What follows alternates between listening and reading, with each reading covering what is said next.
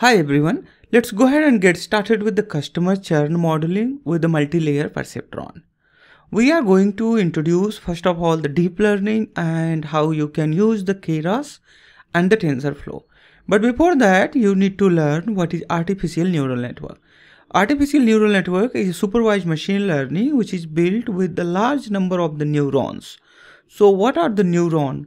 Neurons are something like here in this is the artificial neurons and these are the actual neuron.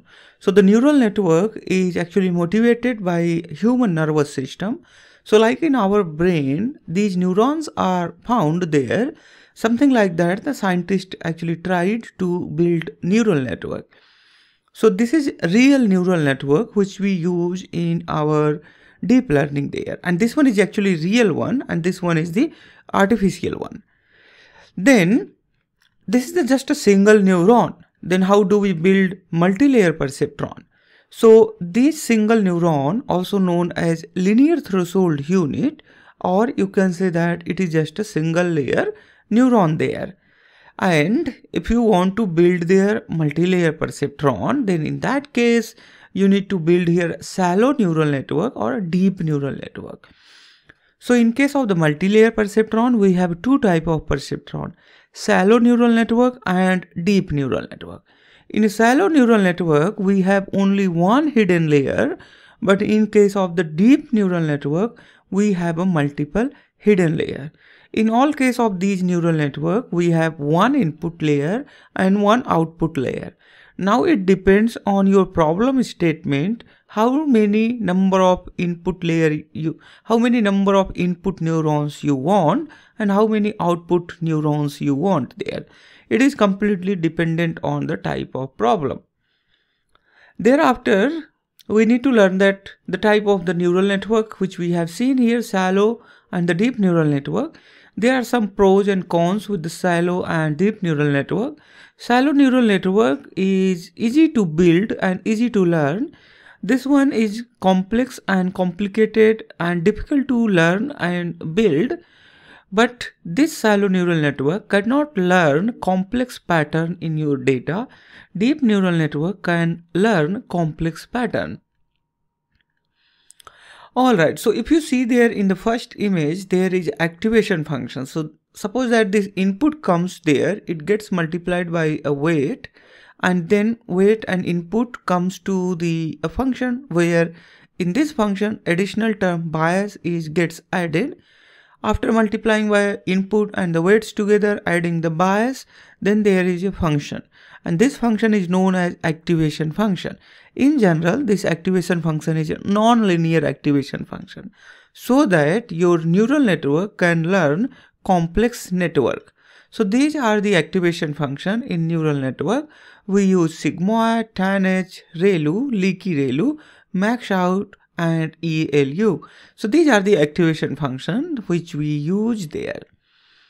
So what's the back propagation? we have seen that the feed forward neural network in the feed forward neural network what happens you give the input and then it input moves in forward direction input gets multiplied by the weight and then then it reaches to the another layer and if you have a multiple layer then it reaches to the another layer and so on so that is known as the forward pass or feed forward network. But in actual sense or in actual network what happened? Whenever you get there the output and output doesn't meet your criteria then there is the error. Suppose that for this particular input you have output 1 but the predicted output is 0.52 that means there is the error. So when there is error your neural network goes back and that is known as a backward propagation so when it goes back then it go it goes back and it tells other neural uh, other neural network layers that modify your weight so that we can adjust y hat and this y hat should match a true value of y there. Alright, so that's how the back propagation happened. Let's go ahead and see how you can do the artificial neural network with the TensorFlow. So these are the two major library, TensorFlow and the Keras, which we use there to build our neural network. Alright, so it's very easy to install the TensorFlow, although we are already using here we are already using here a Colab, so you don't need to install the TensorFlow. And this Keras is high level library which is built for the uh, this Keras is high level library which is built for the TensorFlow. And it makes a neural network making a neural network is very simple and easy. There are some apis from the tensorflow and the keras which you can just import in your uh, in your program and you can start writing your code there so these are the some steps to build your neural network. Like you need to do the data preparation, data pre-processing, then you need to add here the input layer and then you need to do the random weights initialization, add hidden layer, select optimizers, loss and the performance metrics, compile the model and then use model.fit to train the model and then finally you can do the evaluation of your model and then adjust the optimization parameter or model if it is needed. So all these process we will be doing but before we need but but before that we need to see our data set. So our data set is hosted at github.com laxmimerit all csv ml data file download. You need to click on that. Then it will lead you to here a git file. In this git file we are going to use their customer churn modeling. There are many more data samples are available there. If you want to try out these samples you can go ahead and try out those samples. But right now we are going to try out here customer churn modeling Dot .csv file. Once you come to this and then you need to click on here raw file. Once you click on raw then it will lead you to here. Then thereafter it will give you there a link. I need to just go back here and see it here. I have just exited my full screen mode so that i can copy this particular link from there. And then you can simply you know paste that link here. So this particular link we are going to use for our data. All right Let's go ahead and import the necessary libraries but before that we need to set here a runtime. You need to click on runtime then change runtime. Thereafter you need to select here GPU so we uh, so so so that we can train our model on GPU. So this GPU is offered by Google. It is free of cost. It does not cost you anything if you use Google Colab. Alright, so once all these things are done, let's go ahead and import all the necessary libraries. So I import here, import numpy as np, and then I write here, alright, I had actually connected my,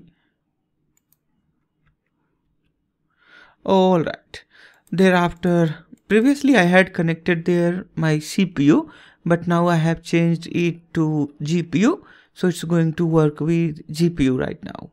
Alright, so we have import numpy and then you can write here the import pandas as pd. Thereafter you need to write here import seaborn as sns and then import matplotlib dot pyplot as plt. So these are the some uh, basic libraries which we use for our data analysis and the data load we have a link of our data here. We can simply just copy it one more time. And now we are going to say that here data set is equal to the pd dot read underscore csv so the pd dot read csv is going to read this file from the internet directly and then it will place this file inside this data set now if you see this data set it will be having here a multiple folder. It has the row number, customer ID, surname, credit score, geography. All these are the input features. And based on these input feature we need to predict here this particular exited whether the customer has exited the bank or not. So if exit is 1 that means customer has left the bank. Otherwise customer is with the bank alright so now you see there we need to use here all these columns all these columns but we don't want to use first three columns and the last one column because this last one column is actually the target column. So obviously in the input we don't use the target column. So for that we are going to use here iloc this is uh, iloc and then we are going to select all rows. This says that and then for the column 1 2 and 3 column we want to three column we want to discard so i write here 3 and last one column i want to discard there so i write there minus 1 once that is done now you see that you will be getting here only input data. Alright so the target data has been gone now and now I can say that this is equal to x there. Alright so this one is equal to x there and thereafter I'm gonna say that here is the y and the y is obviously it is the data set and then we have this one there now we have got our two data frame x and y. x is the input feature and y is the output feature. Let's go ahead and visualize our y. So sns dot count plot and then I write here x equal to y. In that I'll be getting that how many values are there for the y. So that means y is exited. It says that there are around 2000 customers who exited the bank but there are almost 8000 customers who are still with the bank. So this says that we have currently imbalanced data set but that's okay. Currently that is not the problem for us right now. All right. So once we have all these things let's go ahead and see here a pair plot. So i'm going to just do here the sns dot pair plot so the, with the pair plot we will be seeing here all these uh, with the pair plot, we will be seeing uh, uh, the relations between all the numerical data. So I write here sns.pair plot and then there is the data set. In fact, we don't want the data set. We just want to see between the x there.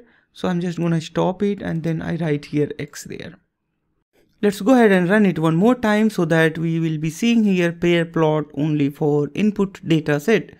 It may take a while to plot this plot because pair plot is very costly plot.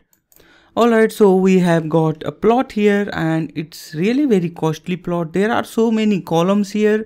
One more thing we are missing here, we are going to provide here a hue. So I provide here a hue is equal to the y parameter and based on the y, we are going to see that whether the customer has exited or not. Let's go ahead and run it once more time. Okay so it says that it is ambiguous. That means it cannot see it, it cannot take there the y. So what we can do there uh, we can just remove this y and then we can plot the same plot what we had earlier okay so currently we are having our plot and there we are seeing a lot of the distribution of the data and in this distribution it says that in this distribution it says that there is the estimated salary which seems like a constant and so many other parameters. So the most of the parameters you see these straight line, this says that these are the categorical data. So it is important to understand that we, if we have a categorical data, then we need to convert these categorical data into a proper one hot encoding.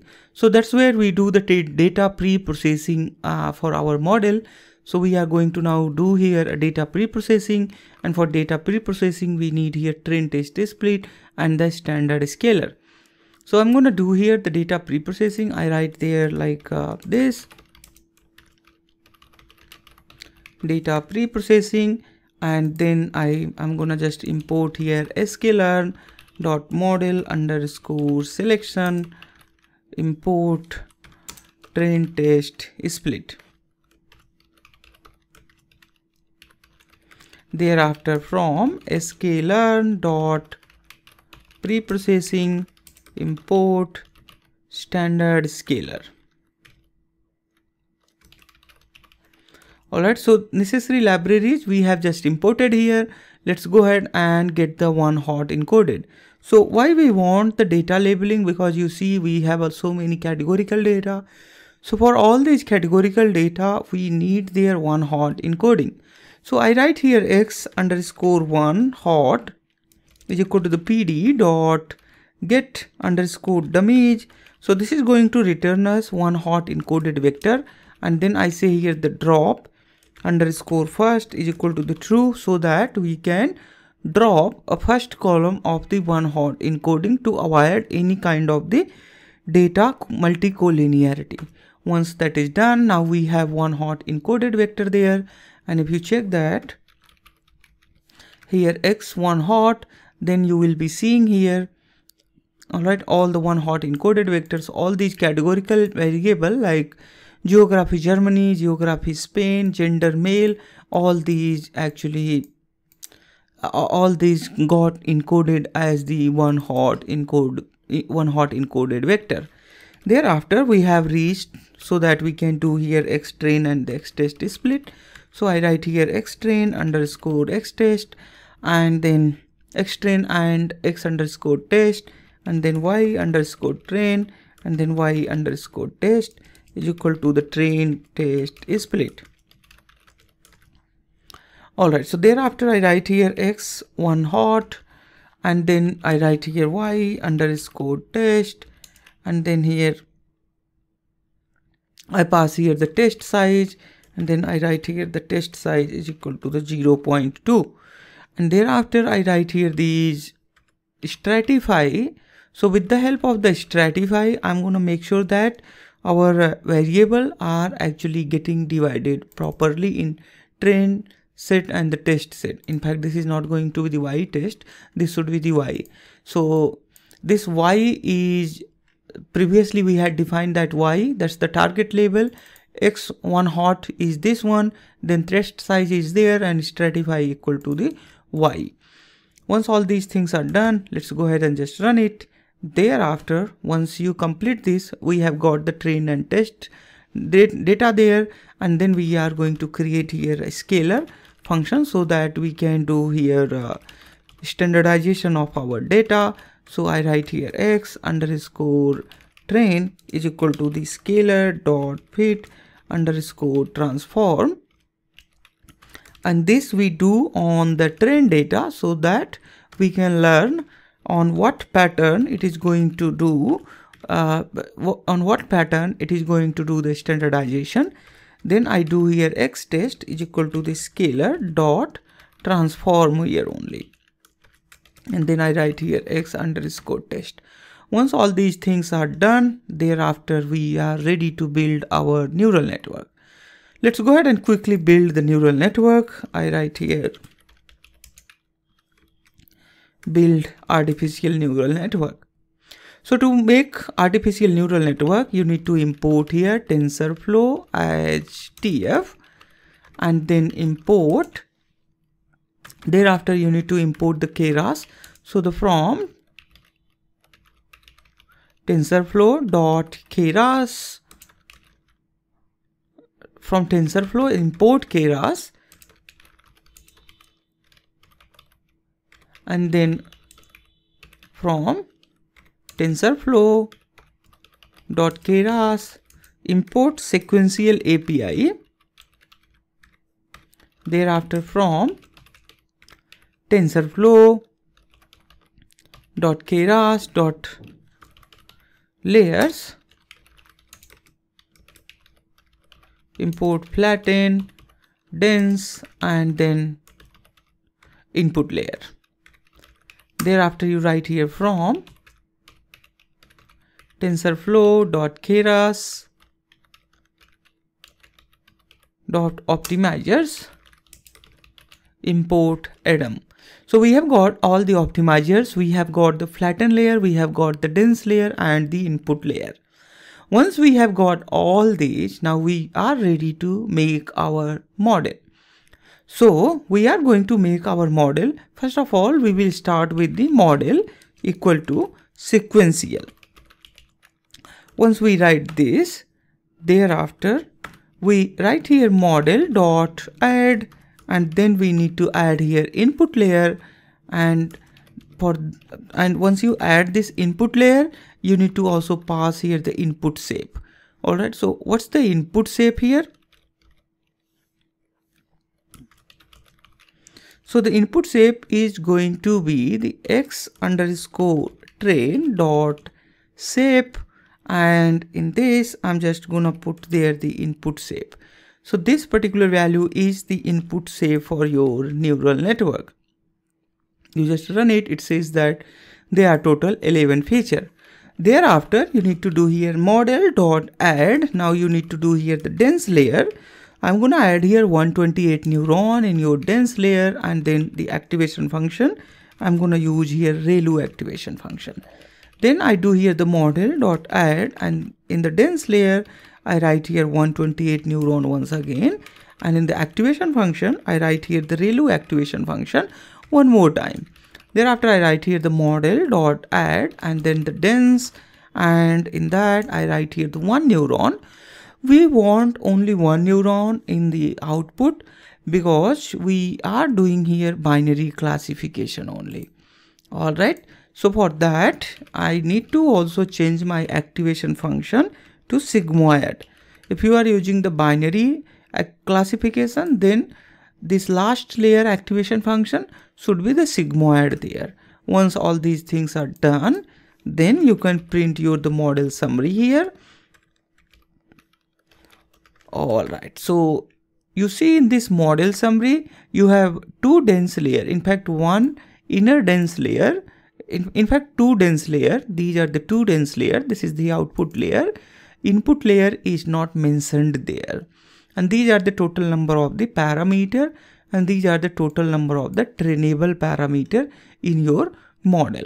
Once all these things are done now you are ready to train your model. You simply write here model dot fit the model dot compile is still missing. I think you need to write that as well here. So the model dot compile so model dot compile in that in model dot compile you need to pass here the loss function.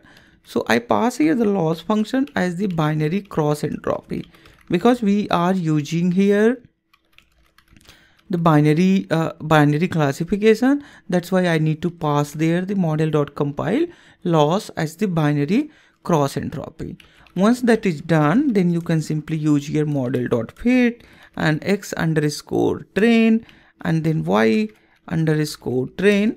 And then the validation data set you can pass there as the test data set so you see you have here validation data in this validation data i'm gonna just pass our test data. So i pass here x train x test and then y underscore test there. Once you pass all these data now you are ready to train your model. So it's going to train your model.